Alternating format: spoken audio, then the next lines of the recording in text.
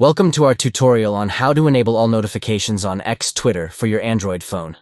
Follow these simple steps to make sure you never miss an important update or notification from your favorite app. First, open your Android phone's settings. You can usually find this icon on your home screen or in the app drawer. Once you're in the settings, navigate to the section labeled Apps. This is where you can manage all the apps installed on your device. Next, Find and select X from the list of apps installed on your phone.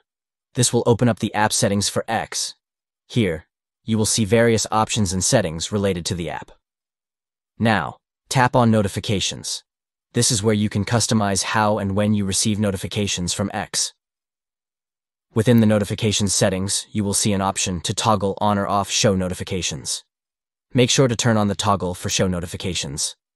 This will enable all notifications from X to be displayed on your device. You can also customize specific notification settings here, such as sound, vibration, and notification priority.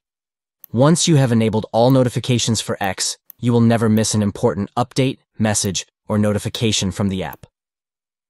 Stay connected and up to date with all the latest news and updates from X by following these simple steps. That's it.